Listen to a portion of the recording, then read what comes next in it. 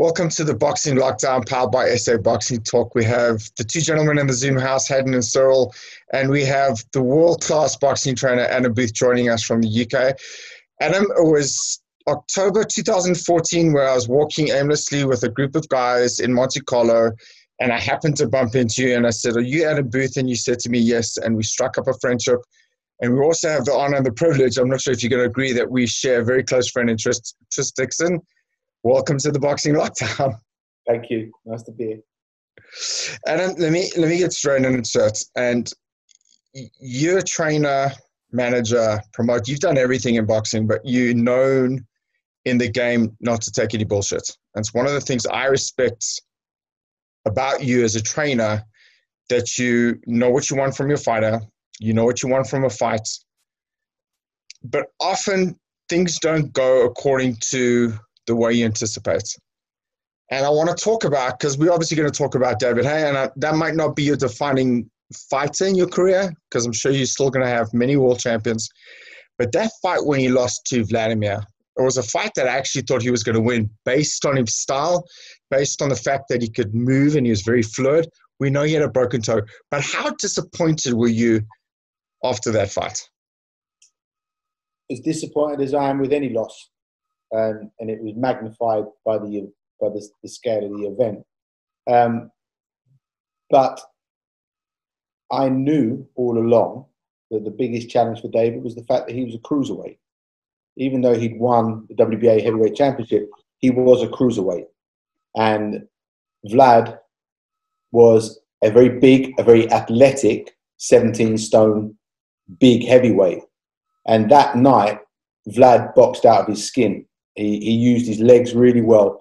Any any attack that David tried to mount, Vlad would nullify it with that little shift with his legs.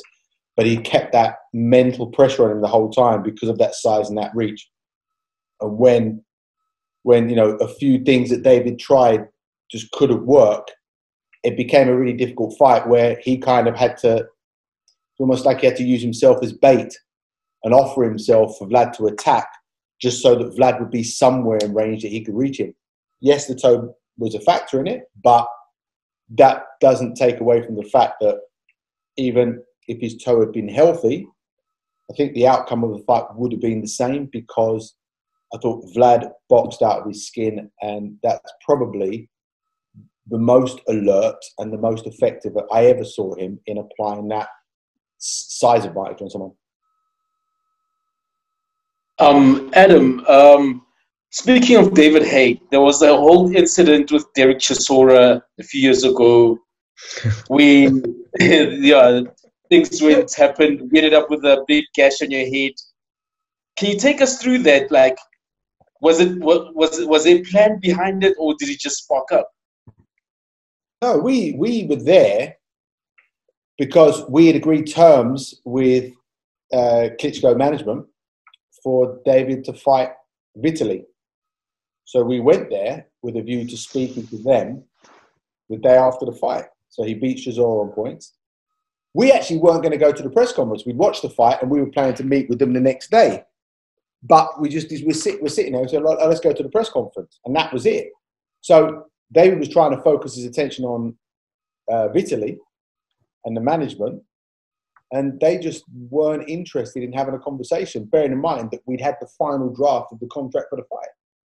Next thing, I think Frank Warren probably nudged Dereck, and then that happened. So David was focused on Vitaly. Dereck decided very shrewdly, I might get a fight out of this. He aimed it at David, and then and then it went off. Yeah, so I want to go over to another fighter completely, someone that you had spoken of highly, and he's your current boxer, um, Josh Kelly. You had spoken of him highly from amateur days, uh, working with him, and so far it's still early days in his career. But you, when you had spoken about him initially, you said that he is the next best, uh, best thing in boxing. Uh, do you still, would you still believe that? Absolutely, yeah, absolutely. It's a journey, and of, of all the fighters that I've worked with that have become world champions, there are always periods early in their career where I test them, and all of them have looked in different ways or different manners uncomfortable at those moments because they have to be tested early. They have to be matched competitively. and, and the sooner you can get to that, the kind of more confidence it gives me in mapping that next phase that they okay, well, he can cope with that level. If you talk about Josh Kelly, for example, his 11th fight was Ray Robinson. I think it was his 10th fight. I think. His 10th, uh, okay, his 10th fight, yeah. Um, uh, David Haye's 10th fight was against Carl Thompson, I think, for his 11th fight. Um, George Groves, his eighth fight, I think, was for the Commonwealth title. So, so I'm, I'm a firm believer that if, if you want them to get to the top, you have to set the challenge early. And his, and his, and his match with Ray Robinson was um, a much more competitive challenge than people on the outside were giving it credit. You've got to remember that Ray Robinson was the last person to beat Terence Crawford in Crawford's last fight in the amateurs. And he drew with Kavaliauskas, who then became the mandatory challenger for Ter- Terence Crawford. And I, but hand on my heart, I thought Josh won the fight with Ray, Ray Robinson by two rounds. But because he was trying to spin too many plates and showboat, and he and he didn't always stay focused on the competing element that he was putting on a show at the wrong time, a draw wasn't an unfair thing. But to, if you're drawing at that level in your 10th fight, the level that is the level of a mandatory challenger for Terence Crawford, because Robinson drew with Kavaliauskas, I walked away from that disappointed with how he performed because I knew he could be better than that, but happy with the fact that, okay, well, we now have a marker after 10 pro fights at the age of 24 of where the from from the level he's at now to the top level is top 10 because he's already drawn at that level. So although I was, I was disappointed with the draw and I was a little bit disappointed with his performance, my my belief in where he can be when all the elements of his style come back together is probably more galvanized by that than anything else. Adam, I want to talk to you about fighters who lose. And I'm one of the trainers that think fighters only develop sometimes after they lose. And I want to go back to the Haye Thompson fight where he wasn't supposed to lose and he did lose. And I think that did a U turn for both you and David. I think you guys both had to kind of collectively sit down and think, okay, we've lost. What now? How much did that loss improve both you and David at that point in your careers? Probably more than anything else. And I would confidently say more than anything, more than any one thing that had influence on the, on the trajectory of David's career as a fighter, and certainly um, um, the biggest influence on my trajectory as a coach and the way that I would then go about things. And from that point, I made I made a conscious decision that our friendship will be put aside, so there would be less time spent together as friends because there was only a 12 year age gap, and I'm quite I think I'm quite young at heart, and he was sort of an older version of a 23 year old or 22 year old. So although there was 12 physical years, there's maybe only six years between us culturally.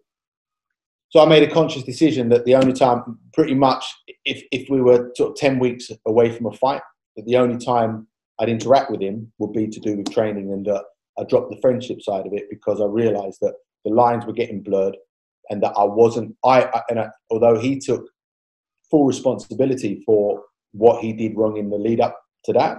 I have to take responsibility because I obviously allowed it to happen knowing the whole time through preparation that it wasn't right. I knew the whole time. And he wasn't injured and he wasn't ill. There was just this element of complacency that had set in. And I was kind of going along with it because he was winning. I've always been a firm believer that just because you win doesn't mean you're doing it right. And just because you lose doesn't mean you're doing it wrong. Um, and so for me, that was that was, I think it was the harshest lesson for him, and it was certainly the harshest lesson for me. And then um, I want to talk about uh, Ryan Burnett.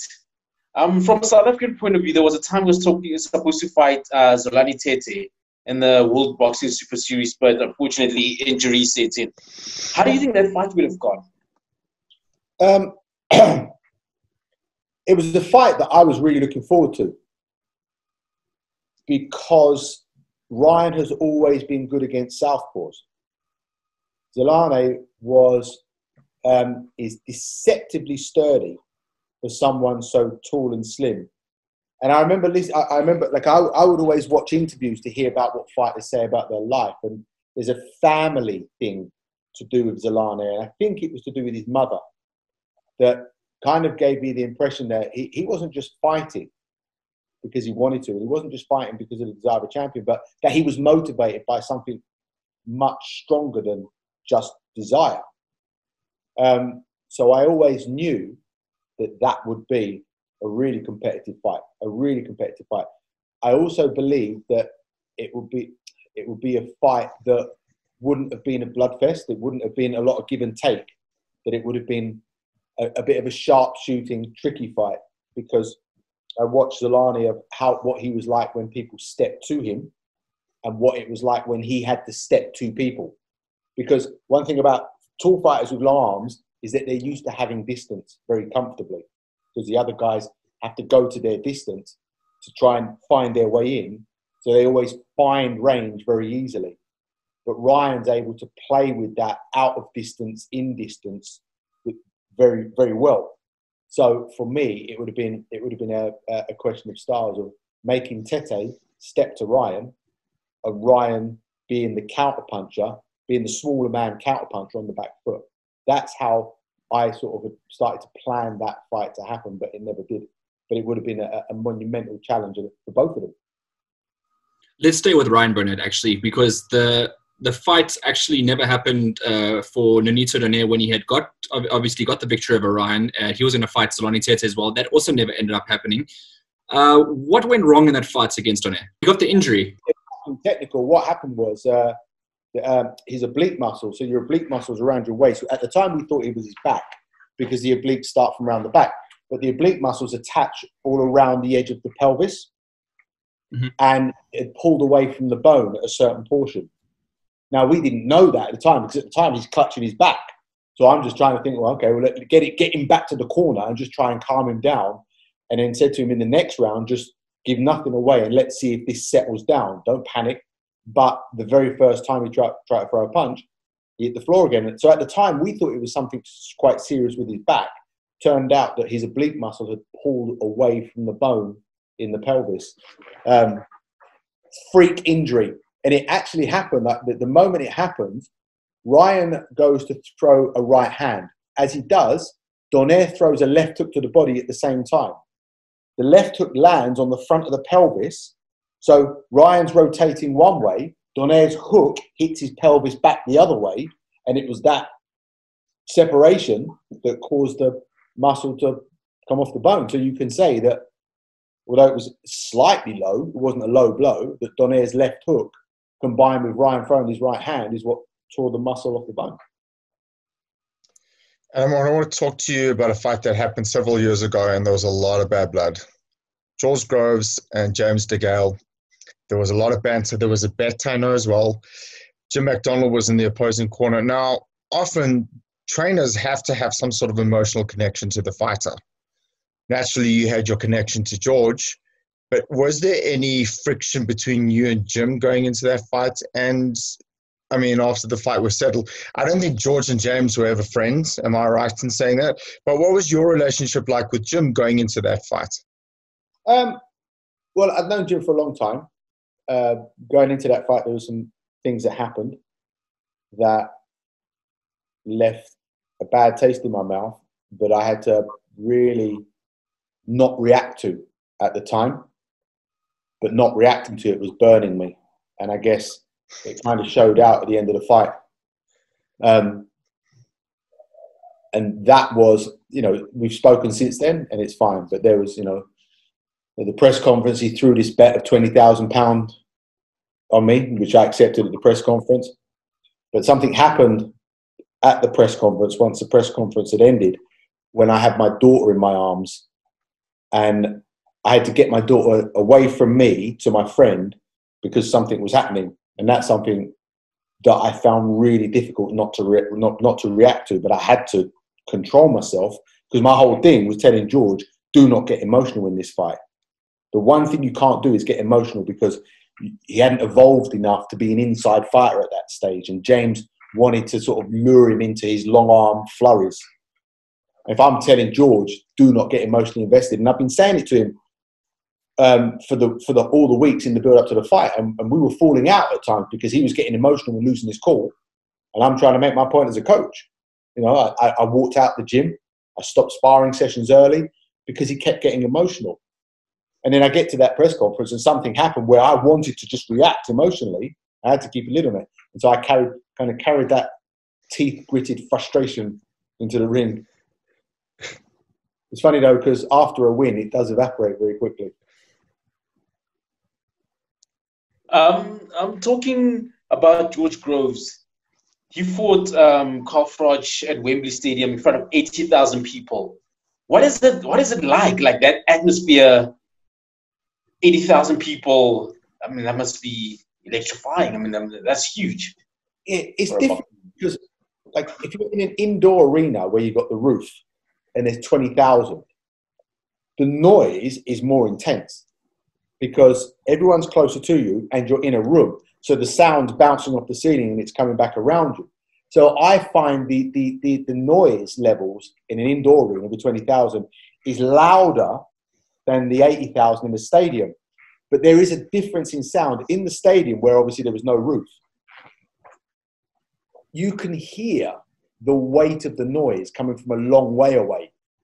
So you do have this sense of size that there's people that far away and you kind of hear the weight of the noise, plus the fact you've got the fresh air. It's different. Um, but I would say that the, the more intense atmospheres happen in the indoor arenas.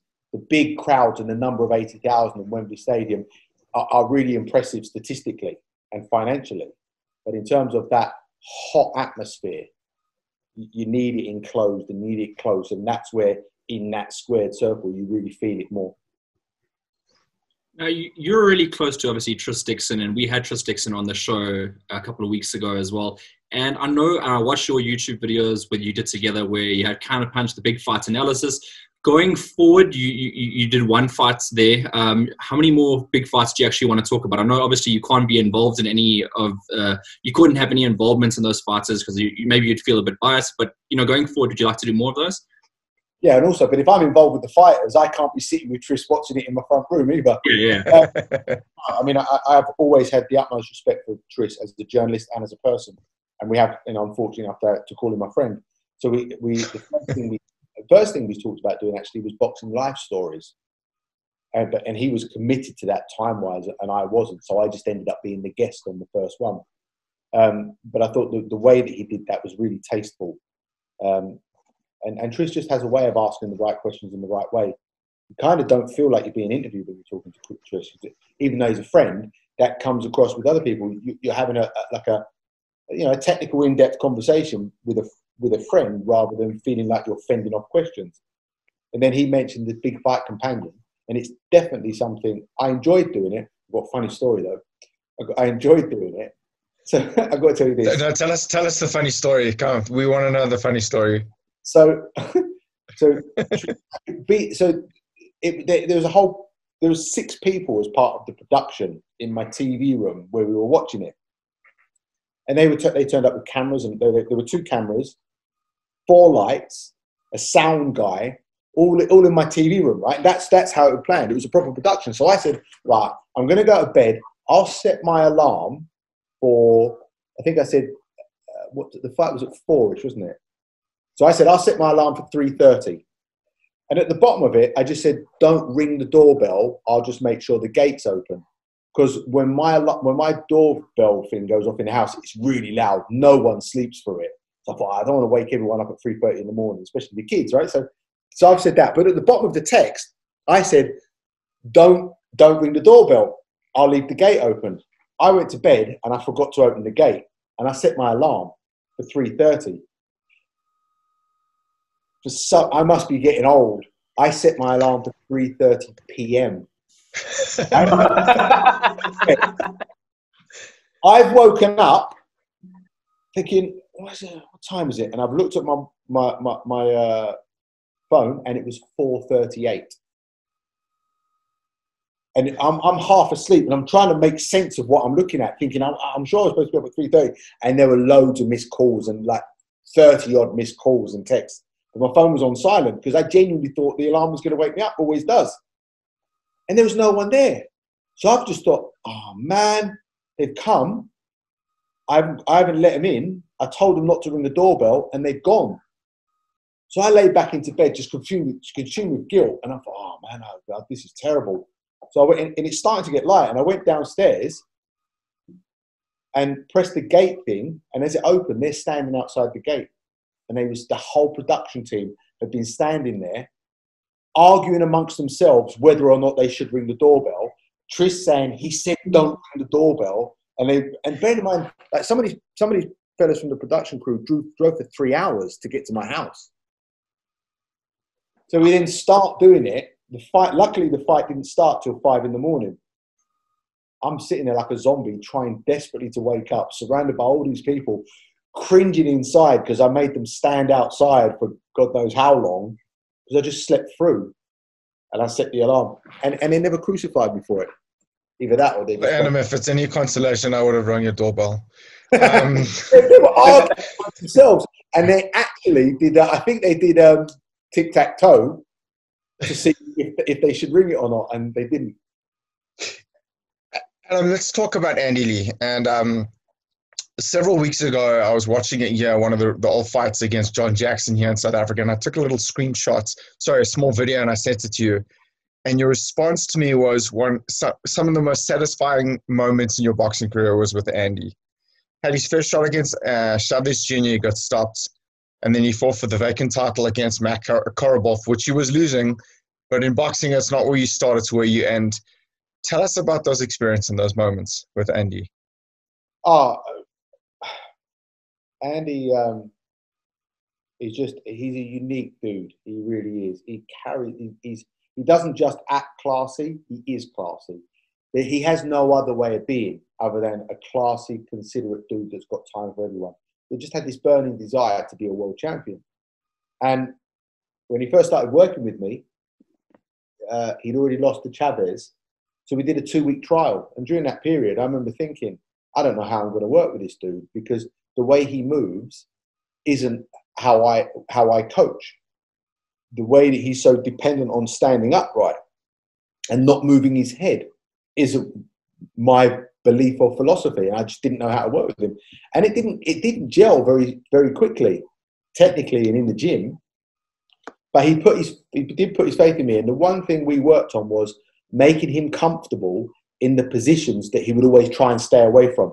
Like as a Kronk fighter, it's about testing a man with your power in the first round. If you're tall and high, you stand up tall and you fight tall and you stay tall and you do not let them come anywhere near you. And so we went through this long period of time where all Andy was allowed to do in sparring was let people get up inside so that emotionally he became comfortable and more comfortable and more adept at looking after himself where he didn't want to be with the belief that if he could be emotionally comfortable where he didn't want to be, he wouldn't use up anxious energy when he was boxing long where he wanted to be. Because he was kind of boxing terrified of the fella getting where he didn't want him.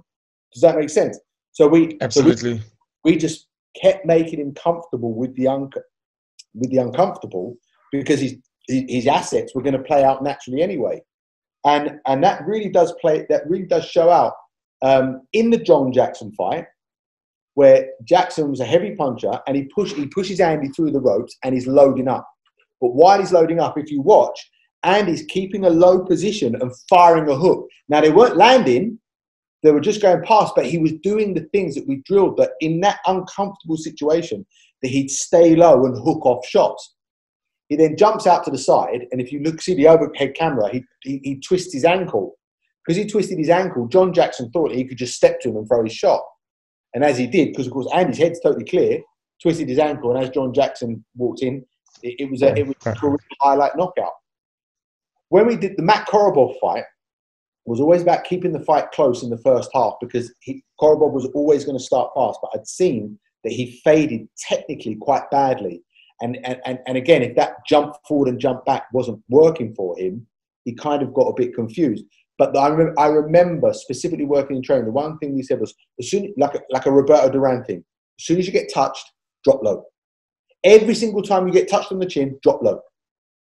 So because what a lot of fighters try and do, they get touched on the chin and they try and see what's coming next. And that's too late. Because if you get touched on the chin, by the time you see it, it's already there if there's a follow-up shot. So the one if you watch, Andy goes up close, Korobov lands a left hand, and instinctively Andy just ducks down. It wasn't very pretty, but it didn't have to be. He just ducks his head down. As he popped back up, he threw the right hook that then turned Korobov into. So it was really, really satisfying as a coach. Those two moments of a career of a dude that I absolutely adore as a friend because he's such a classy fella, um, played out the way they did and ended up giving him not only career highlight stoppages, but a WBO world title to go with it as well.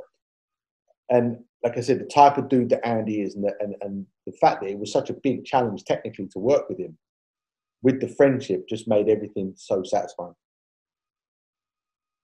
And then going back to David Haye, where would you rate him amongst the greatest cruiserweights of all time? Like, where would you place him?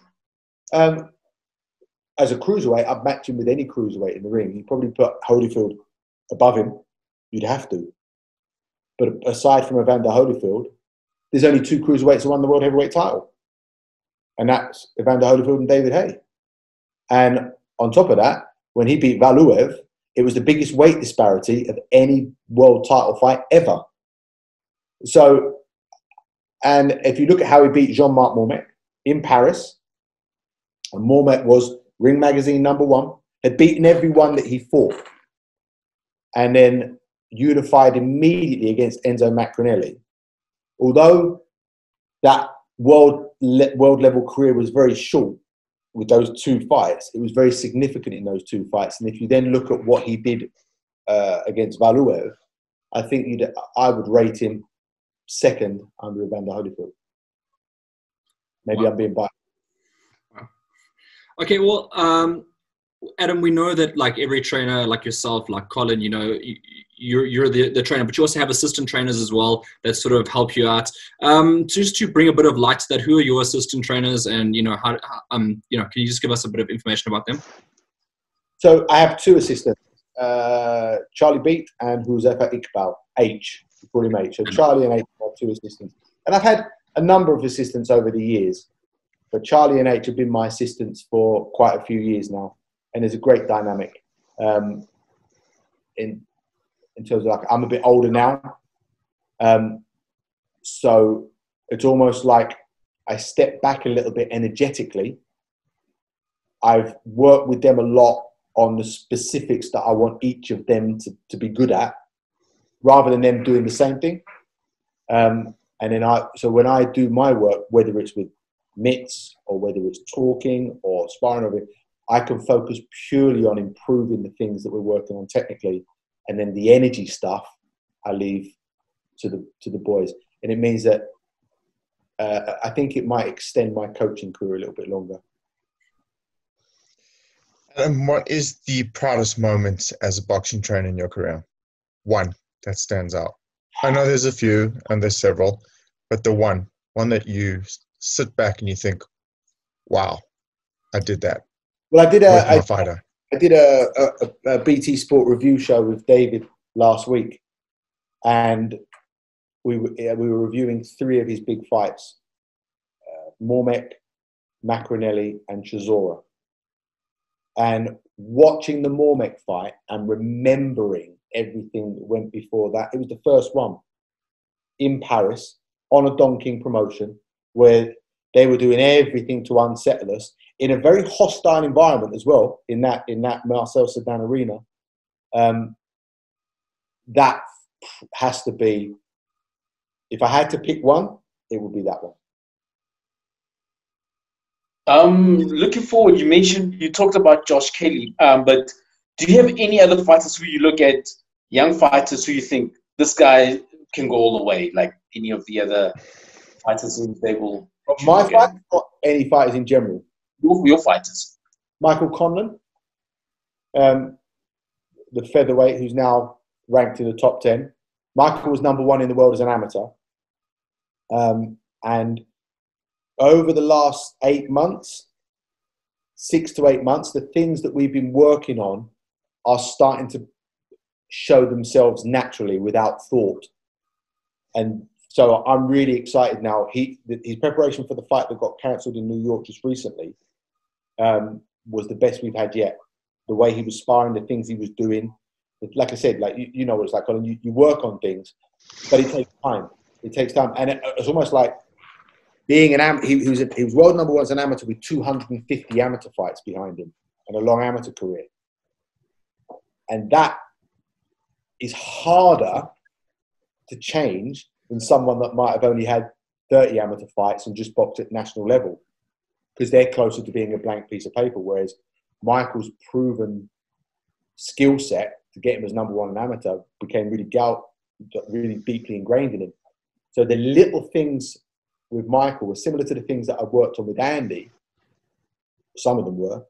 Um, took over a year to start falling into place and I was I, am gutted that that fight fell through because I think in I think if if I'm looking at Andy, uh, sorry, um, Michael Conlan and Josh Kelly, and you say to me who's going to fight for a world title first, I'd say Michael Conlan.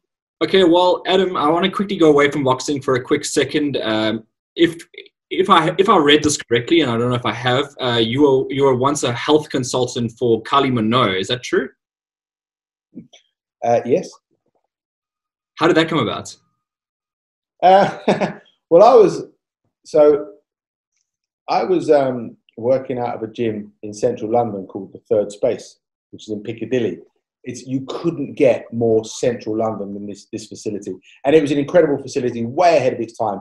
And they headhunted me to set up the actual training, so to recruit all the, the, the so we had like thirty coaches or thirty person trainers because I used to teach anatomy and physiology and strength and conditioning but I was while I was being a boxing coach because I had to make a living.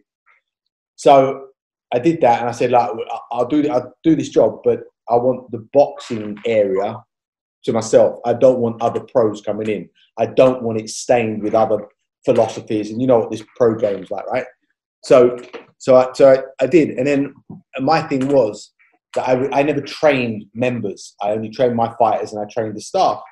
One day, this dude turns up and uh, like, I'm here to train with you. I said, no, you must make a mistake. But someone in reception had made a mistake and booked him in to see me for a, for a training session.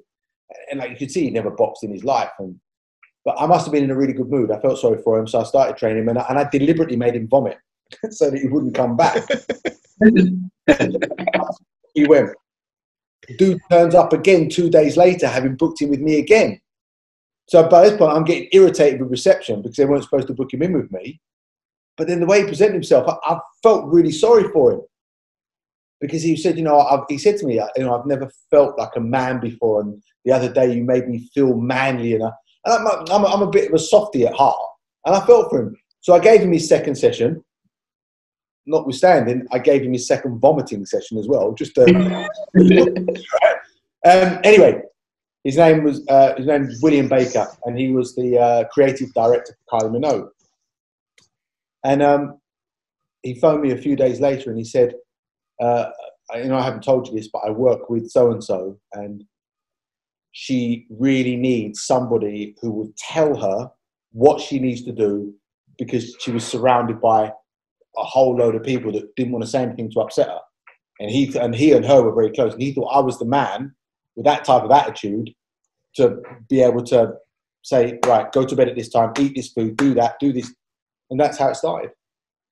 Me making him vomit twice. I was only doing it to stop coming back.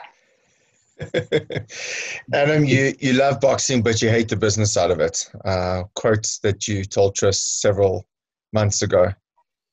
When you were growing up watching boxing, who was the one trainer you looked up to and admired? And why? honestly, yeah. I hand on heart, I never watched when I when I boxed.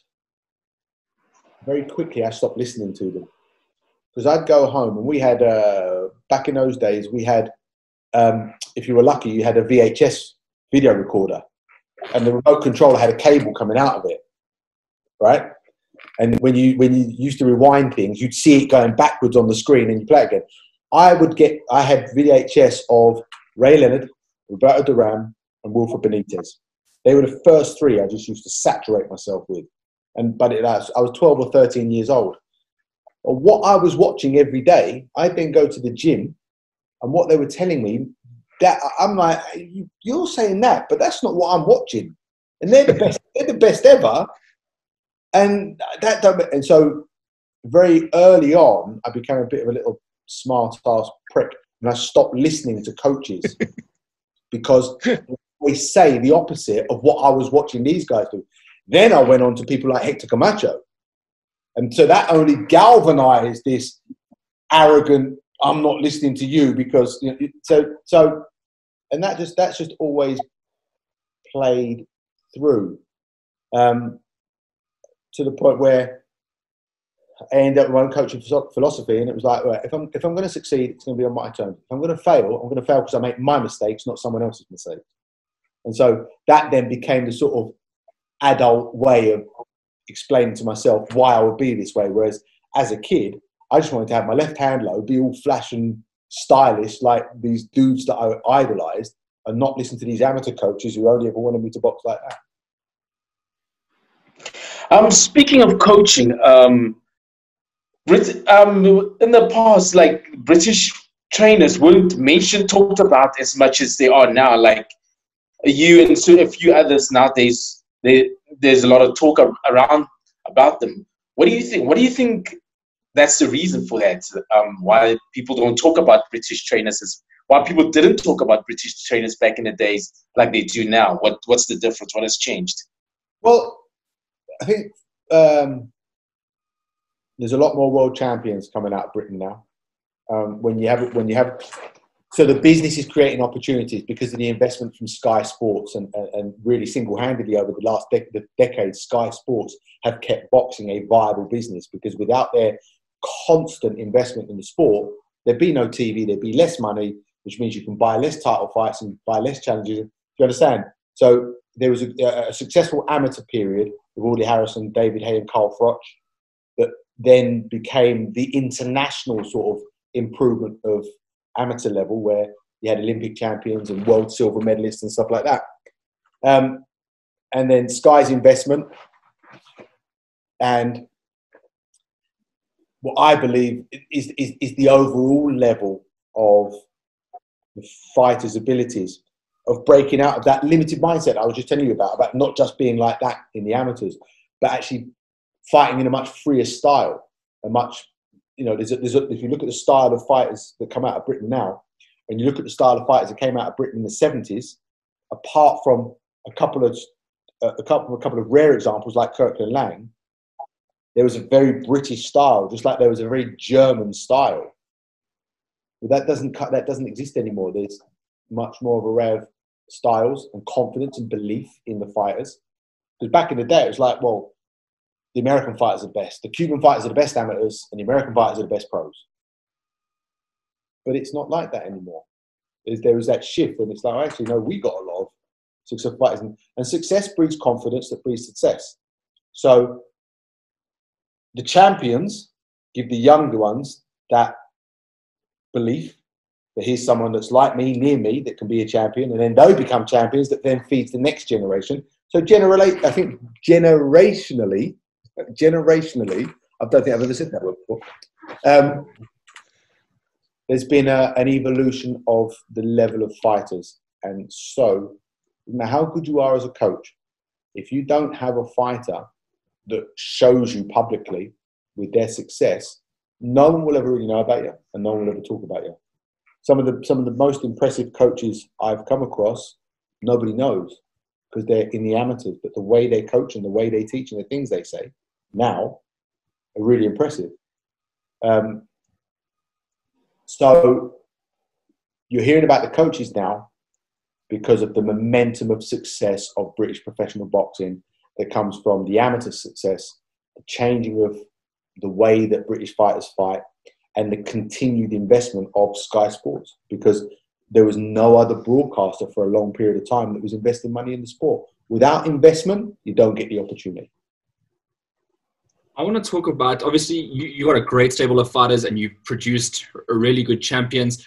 When a guy comes to you now from the amateurs and you have to start from scratch, I mean, do you still enjoy that process, or you know, would you would you only accept the guy sort of if he's got like an Olympic background or a world amateur medal or something like that? I mean, how does it how does it work with you?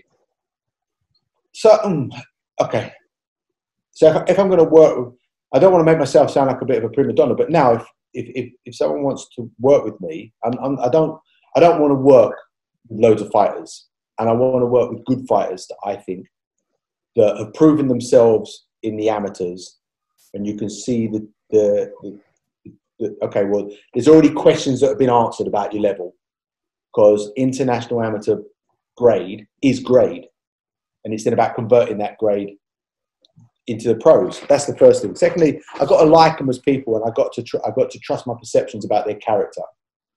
Um, and it's funny actually, you, you said, because I keep telling myself I've, I've almost had enough of this. Can't keep doing this, like because it doesn't matter whether it's a, a novice pro or a world champion. You're always trying to improve their jab. You're always trying to improve their left hook and the way they set it up and the way they land it and the way they exit after it. The basics, are, this is a sport of basics that doesn't look very interesting on Instagram when you look at someone doing pads. Because if you're truly coaching, it's boring to watch from the outside unless you can hear the things that are being said. It's this epidemic of flashy pad work. That just make that's just fun to watch and good makes the pad man look good. So uh, there's this there's this amateur now girl called Ellie Scotney, who I manage, um, and she's got a really uh, an excellent young coach called Sam Mullins. Um, and Ellie comes and has started to come to me once a week just because she wants to do a bit of technique with me. So she came last week because we can start in the gym again. And and the thought of I driving to it, I thought of going, oh, okay, so I've got to look at the jab. I've got to see the right hand. I've got to look at the basics, see the basics. Don't care that she was number one as an amateur or you know really good amateur. Got to look at the basics. And before I knew it, two hours had gone by. And we're working on the jab. So there's got to be an inherent love that I tell myself I don't have.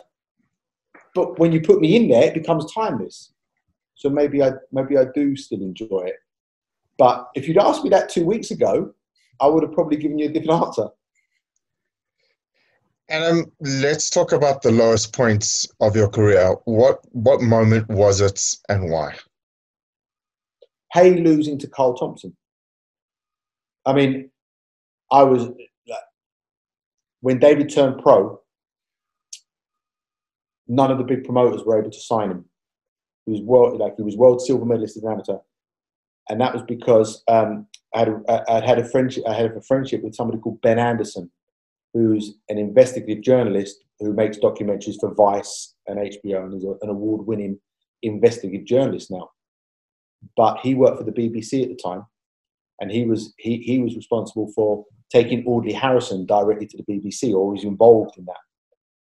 And because David and I were friends with Ben, Ben was able to introduce us directly to BBC, which meant that he was a novice pro, turning pro, with a novice pro coach, stroke, not yet a manager, going straight to the broadcaster, not just the broadcaster, but the BBC.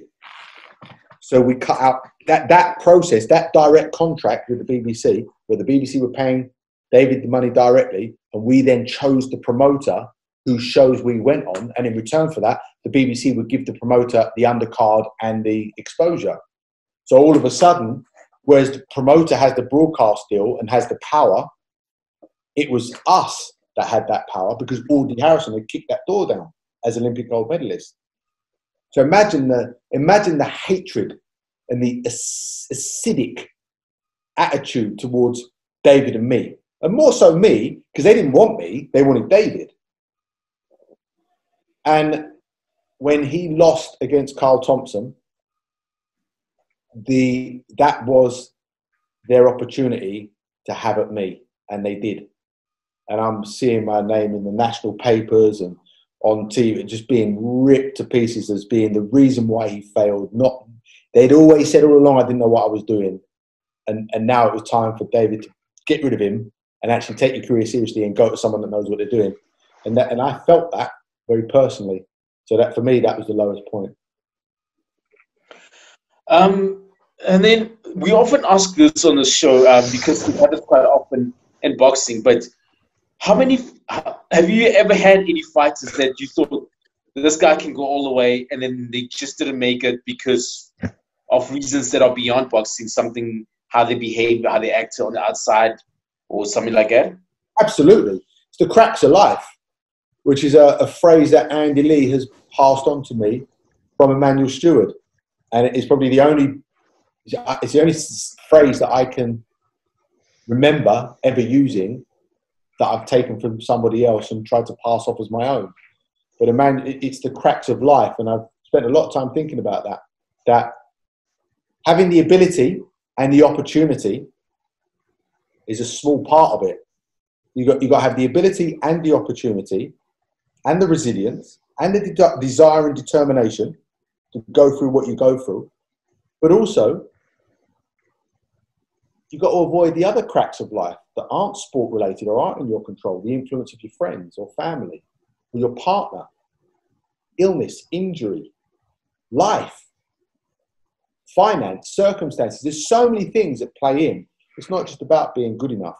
And probably there's one fighter that uh, I've worked with that really showed that, and that was a guy, a featherweight called Mitchell Smith.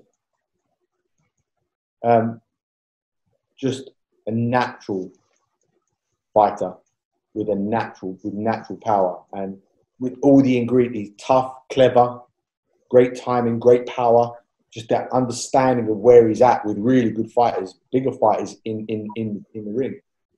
And uh, and and his life went off the rails and he ended up going in prison came out of prison but his personal life and everything and he's put on a lot of weight and he's, he's been losing his weight but he's still got a long way to go. The one thing that the one thing he's got going in his favour is that I think he's still only 26. But and, and in the amateurs, right? You you see you always see kids that are great talents, but just have a cranky attitude towards life.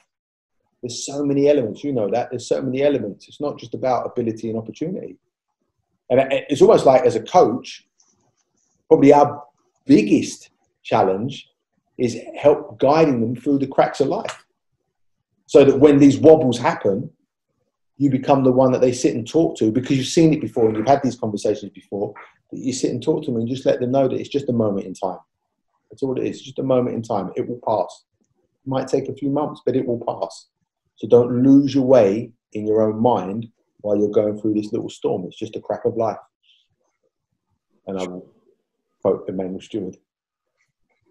Uh, Adam, uh, when it comes to a 50-50 fight, uh, when you when you know you're up against it, you know it's going to be a really really close fight. What for you makes the biggest difference? Obviously, you're coming up against perhaps if it's a 50-50 fight, another good trainer in the corner. And I know that you're really good with corner instructions, uh, particularly in the in the crucial moments. Uh, what for you makes it? What what gives you sort of what makes you feel that you have the edge over your opponents uh, in the other corner? I don't I don't I don't think about it like that. It's it's really it's a boxing match. That's all it is. I remember um, the, probably the most nervous I felt was when Haye when Haye fought Maccarinelli. Not because I wasn't confident about the fight, but we were staying in a hotel, and as we walked out the room, we were looking over at the O2, and it was like this, the night sky, and all of a sudden you just got an, you got an impression of the size of the event. And I always tell myself this one thing: always, always, at any moment, whether I'm whether I'm thinking about the magnitude of the fight, the difficulty of the fight, the style of opponent, whoever is in their corner, whether they're a Don King fight, I just remind myself of one thing: it's just a boxing match. That's all it is. It's just a boxing match. So, and it happens a lot less now. But whenever an event or abstract thoughts would start to play out in me, my one solace was to go away from everyone else. Don't let anyone else get in my headspace and just say, it's just a damn boxing match. That's all it is. Okay. He jabs like that. He throws his right hand like that. That's he's got good power in his left hook. You don't, and then you start thinking about it technically, and all the nerves and apprehensions just disappear. I don't think about. I don't think about. I always tell my fighters, don't go into a fight with confidence based on the other fighter's weakness, because that's a sign of weakness. Go into a fight with confidence, looking at the opponent's strengths, knowing that you can deal with them and disarm them. And so, and, and so, so, so I don't think about the other corner. I just look at the job in hand, and we prepare for it. And we, the first thing we do is pay respect to the strengths of the other person. Don't look for the weaknesses. The weaknesses will expose themselves. First thing, art, uh, the art of war. Make yourself unbeatable. And you do that by disarming the things that he's good at. And that, that everything else evaporates away. Just a boxing match with a load of paraphernalia around it. Adam, it's been absolutely magic having you on the show. Um, your last parting shot for the boxing lockdown. Say that again. Sorry, that it froze then. Your, your your last parting shot for the show on the boxing lockdown. Really enjoyed it. I don't don't I don't enjoy doing things like this, but I always feel like when I when I talk to Tris, I feel like it's me talking to him. When I when I watch or listen to myself talking about talking to Tris, I always sort of go, oh, okay, yeah, that that feels like feels like I'm watching me. That's what it feels like on the inside, and that's what this one felt like. So I appreciate it and, and thank you for that. That's great. One of the best boxing trainers in the world, Adam Booth, joins us here on the Boxing Lockdown, powered by SA Boxing Talk. It's been a great show. We will catch you again soon.